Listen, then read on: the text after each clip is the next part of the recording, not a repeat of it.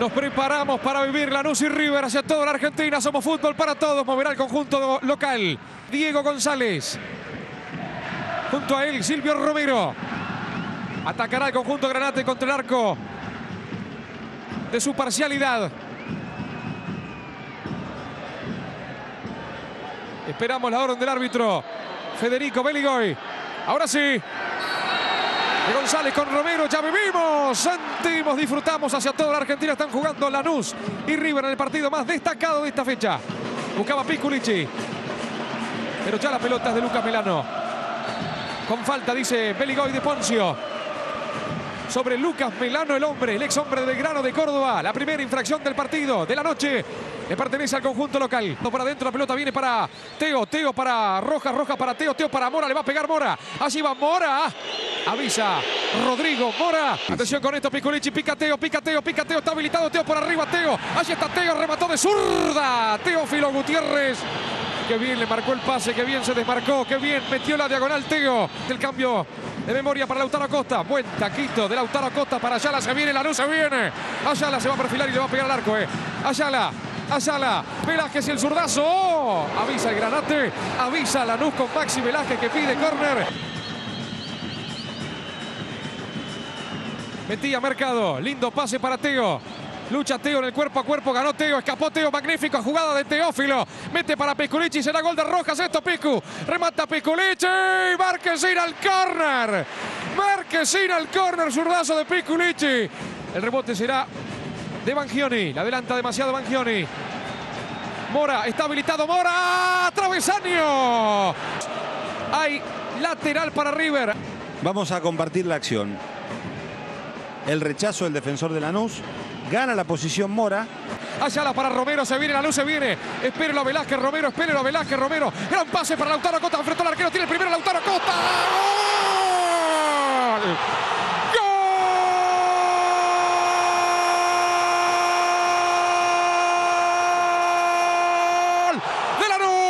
Lautaro Costa estaba al caer el primero. River jugaba mejor. Tenía más terreno y dominio de la pelota y del campo. Pero se aguazapaba para de contra liquidarlo. Para de contra sorprenderlo. Todo lo que no había mostrado Romero en las primeras acciones del partido lo demostró en esta jugada. El momento justo para darle el pase a Costa que se perfila y de zurda le cruza el remate a Barovero. Libre a Costa por primera vez de la dura marca de mercado. Dos contra dos entre Romero y Acosta lo ponen a Lanús arriba. Podía llegar el gol en cualquier momento porque era bueno ya el primer tiempo. Llegó. González, Melano, hubo falta. Dejó seguir el árbitro Beligao y remata Ayala, ha mordido y desviado. El remate de Víctor Ayala, saque de arco. Se apuró Ayala porque podía haber dominado la pelota. Es un hombre que le pega bien de media distancia. Rumbo al descanso, River quiere la igualdad. Y seguir con su invicto en el campeonato centro de Marquesín. Con suspenso Marquesín. Sánchez. Lo marca Víctor Ayala. Teo, qué bien la hizo Teo. Escapó, jugó para Sánchez, otra vez para Teo, desde la hora. Sánchez, Teo, por afuera libre, y Rojas. Teo que remata. Qué libre estaba por afuera Rojas, Teo. Logra acomodarse en campo rival. Con juego posicional River y el remate de Poncio. Avisa Poncio. Saque de arco. Está lejos, 40 metros más o menos, pero intentó, marca un camino, es una manera. A los 17 minutos será la hora de la desgracia Granate. El minuto fatal. River en busca de la igualdad y de conservar el invicto. Pisculici, Marquesín, Pisculici, travesaño, falló Marquesín al cálculo. Sí, respira Lanús. Vemos el tiro, la toca Marquesín, alcanza con la punta de los dedos a levantarla un poquito. Qué bombazo había sido, ¿no? Se le medía, mira si te empatan de esa forma, ¿qué hace el arquero después? Y este Rojas, va River, con Teo. Le marcó el pase Boye, Teo desde allí, Teo.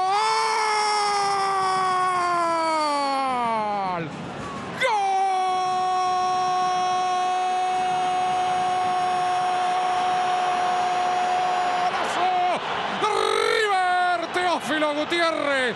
Allí está, recibe la pelota, se acomoda, son 30 metros, bombazo, tapado el arquero, la pelota se le mete por debajo, no hay defensa de Marchesín. Fíjense, no tiene marca Teo Gutiérrez, se acomoda se le ocurre patear al arco y la pone bien junto al palo. Silvio Romero que mal marcó River en esta. Aquí va González que remata, eleva el remate. Diego González. Alguna vez estuvo cara a cara en el Monumental para eliminar a River en la Sudamericana en una acción similar. Tiro de esquina. Es para River, lo jugaron corto para Teo. Domina Teo. Pisculici y el centro es muy bueno. Arriba espera Petzela. ¡Qué cerca tuvo Petzela! Se salva Lanús. Poncio. Pisculici. Se animará River a ganarlo en esta. Pica Teo, pica Teo. Gran pase de José para Teo. Así va Teo frente al arquero. Enganchó. Teo, Teo, Teo. Arquero, arquero, arquero. Mostró toda su categoría, su sangre fría, Teo Gutiérrez. Allí va, domina. Amaga, pasa de largo el defensor. Tira a colocar. Siempre se aconseja muy cerquita del arquero rematar. El arquero estaba con las piernas cerradas. La maldita costumbre que hay en el fútbol argentino. Se viene River en esta. Puede liquidar la historia. Boye. Boye. Teo, pica Augusto. Teo, que libre Piculichi al segundo palo. Lo vio, se va Piculichi. Aquí viene la pelota para quién, para Boye. Remató Boye al arco. La pelota al lado.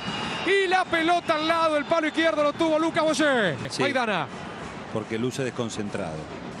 Qué bien la bajó Teo, viva el fútbol, Teo. Busca Mora, qué libre aparece Piccolici, Teo. Teo que mete el centro de Augusto, el cabezazo de Mora. Qué jugada había armado Teo Gutiérrez. Hay tiro libre para River, 30 segundos finales.